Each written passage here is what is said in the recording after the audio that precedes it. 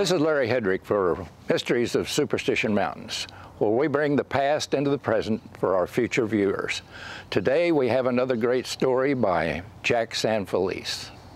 I was new to Arizona and I wanted to put this aside. I wanted to either say there was something to this or there was nothing to it.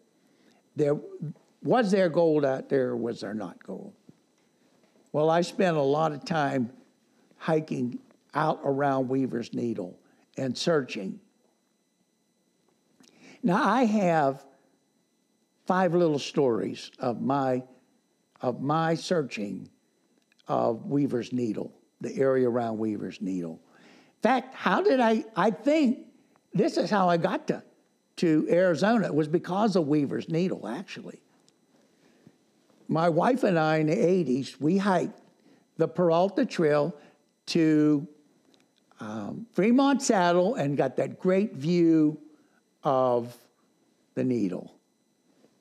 And I said to her, and she decided she wanted to move where it was warm, someplace warm. She wanted to move to Arizona. So I said, okay. In 91 and 92, we're going to hike in August the Peralta Trail. And if we can survive in August and make it in and out okay, we could live there. She says, that's a deal. And so we did it in 91, 92 in August, we hiked Peralta Trail. And we hiked it up, we hiked it down. There weren't many people in August hiking there. In fact, one time there was nobody. We were we were it. So we at the top and back. Make sure we had enough water, whatever, whatever. I knew where a water hole was, we could refill, whatever. And so we did it. So we decided to come out here and buy a house. So we come out. And I moved in the fall of 92. I come here. So in 93, when I thought I was had a job, and I didn't have that job. It was a political type of job, as I learned. So I didn't have it. So I'm now searching around Weaver's Needle for Jesuit treasure and treasure signs and lost gold, the Dutchman's gold, fairy tales.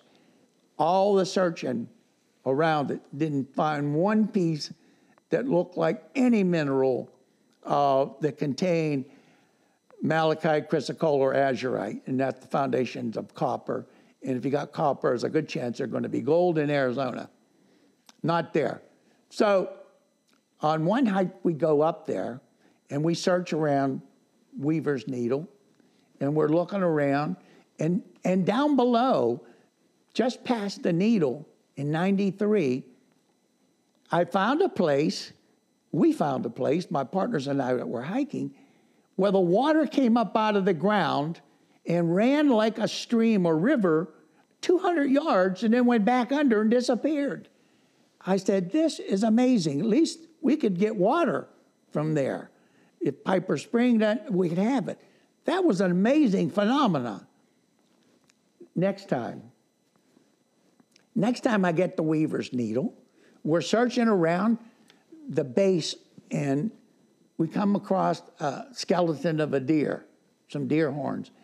And it's a miniature deer. I said, wow, this is really weird. I didn't know there were miniature deer out here. It had antlers and it was only about as big as the dog, the skeleton. So that was my first experience with miniature deers. I, I didn't know they were here. So while we're on our, I'm on my way up a little bit, and my partners are down below me, and they're coming up. There's a guy on the Dutchman's trail above us. He, pull, he whips out a handgun and starts shooting at us. It sound, he must be shooting. I can hear the bullets whizzing over. And we shouted at him. He didn't do anything. So some of us whipped out our handguns, sent a few missiles his direction. Next thing we know, the man in the blue jacket takes off running. And he takes off back toward Fremont Saddle into wherever he disappeared. Now, there were a lot of people coming to Fremont Saddle that day. Nobody ever saw a man in a blue jacket. My guess was he took the jacket off or he went down Geronimo Cave Trail out of sight where they could see him. But now, a few years later, I come across the man who tells me a story of a guy that goes in, went used to go into the mountains and shoot at people who were hikers or climbing rocks, rock climbers. And they told me who the guy was. And I met this guy, and he sure did fit, he sure could have fit the description of the guy that was shooting us at us. Don't know. That's one of those mysteries of the mountain.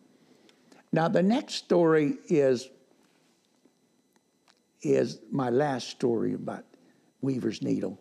I'm hiking with a doctor and his wife and a friend of mine, and they want to see the needle close up.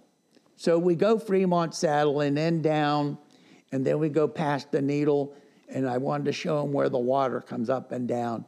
And sure enough, it's still there. The water, not as fast, but it's still there coming up and out.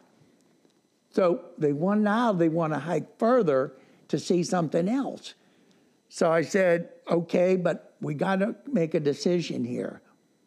We've hiked it at Peralta, but we're now close to the halfway point. If we hike where you want to go, and I'll be glad to take you, we've got to go out the other way out of first water because we're going to be out of water and it's going to be a long hike back and we'll be hiking in the dark. And the hike down Peralta Trail in the dark is not something we want to do without flashlights. Even if it, we had flashlights, it's not a good thing to do. So they said, sure. But I said, my friend said, yeah, I know where there's a water hole. I know where there's a spring. We'll go there. We go where his spring is supposed to be. Guess what?